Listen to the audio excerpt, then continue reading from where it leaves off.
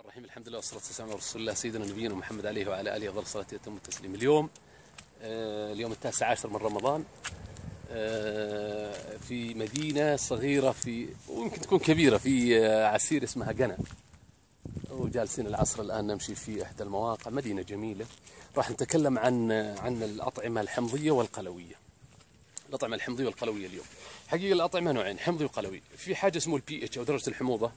البي اتش مكونه من 1 إلى 14 إذا كانت من سبعة ودون تسمى كل المعادن أو كل كل المواد حمضية وإذا كان من سبعة إلى 14 تسمى قلوية. كل ما كان الأكل قلوي كان أفيد الإنسان بشكل كبير جدا وكل ما كان الأكل حامضي كان ضرره أكبر بكثير جدا.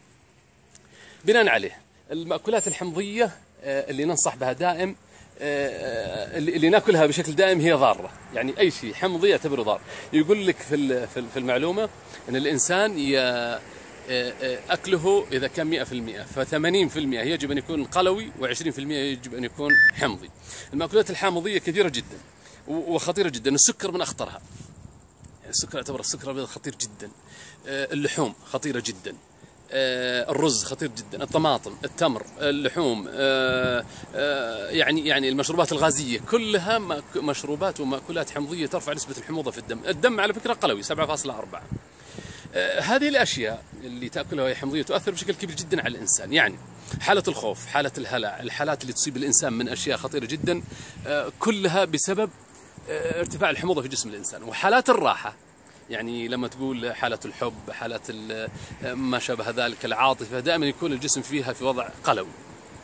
المأكولات القلوية زي الليمون مثلا اللي شيء فيه آه، كالسيوم شيء فيه بوتاسيوم شيء فيه سيزيوم شيء فيه صوديوم شيء فيه البطيخ الفلفل المانجو التمر التين الجرجير الخضار كل هذه الأشياء مأكولات قلوية. أنا أنصح أنه يكون مأكولاتنا قدر المستطاع يا جماعة الخير قلوية قدر ما تستطيع تكون المأكولات قلوية وقدر ما تستطيع أنها تكون خضراء حتى أنك تصبح جسمك سليم.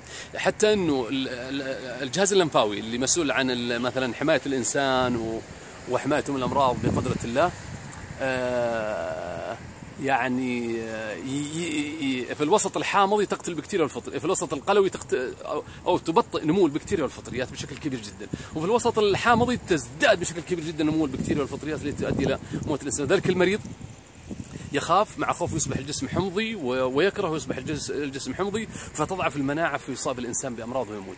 وفي الوسط القلوي تقوى المناعة ونحارب البكتيريا والفطريات لذلك ننصح وبشكل كبير جدا تكون مأكولاتنا بشكل عام مأكولات قاعدية أو قلوية بنسبة 80% خضار وفواكه ما شابه ونبتعد عن اللحوم عن السكريات وما شابه أسأل الله العلي العظيم لكم ولي الصحة والعافية الدائمة.